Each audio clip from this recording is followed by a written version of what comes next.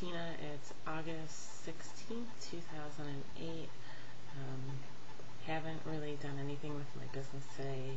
It's Saturday. Today has been a family day. Um, and this has been planned for quite a while. My husband took my oldest son camping today, so my plan was to spend the day with my children um, and get some things done um, around the house before I leave for vacation.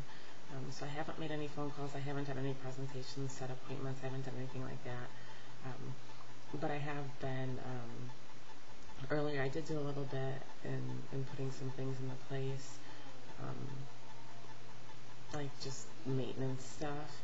And I've been doing a lot of um, thinking of logistics of how I'm going to um, put my new plan into place. I, I obviously I have a plan and I know what it needs it takes to get it done.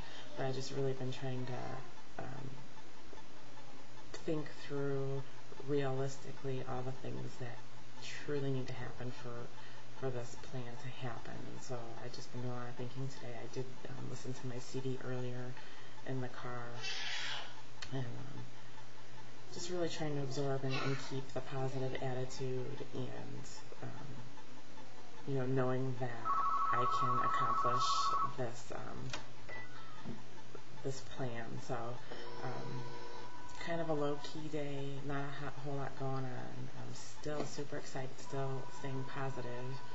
Um, really, that's it. Not a whole lot. So hopefully I'll have more to bring to you tomorrow. But um, just one of those days. Kind of needed, I needed a day for the family and kind of stepping back from the business. So hope you guys have a great night.